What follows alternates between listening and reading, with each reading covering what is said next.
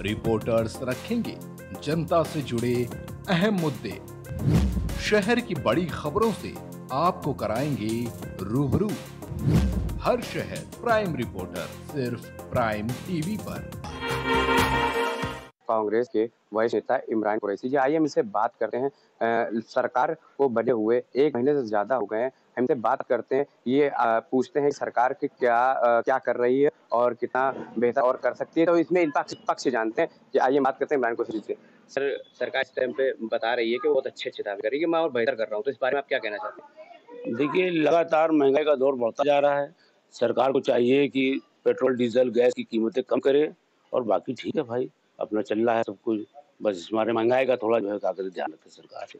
बिल्कुल। आगामी ईद का त्यौहार आने वाला है। पूछते हैं आगामी ईद के त्यौहार में देशवासियों से क्या कहना चाहते हैं सब सभी देशवासियों को और शहर वासियों को और क्षेत्र वासियों से अपील करता हूँ सबको बहुत बहुत शुभकामनाएँ ईद मुबारक की और अच्छे से गंगा जमुना तहजीब से अच्छी तरीके से सब लोग ईद मनाएँ।